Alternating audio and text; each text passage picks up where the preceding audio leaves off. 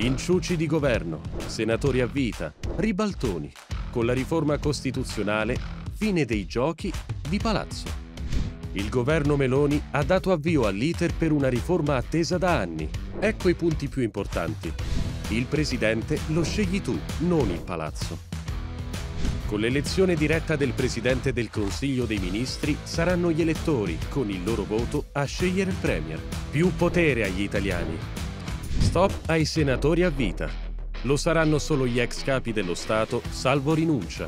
Addio ai senatori a vita di nomina presidenziale. Mai più ribaltoni e inciuci di governo.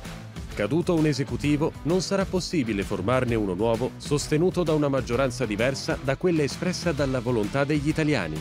Stop ad accordi trasversali e governi tecnici. Con la riforma costituzionale voluta dal governo Meloni, fine dei giochi di palazzo.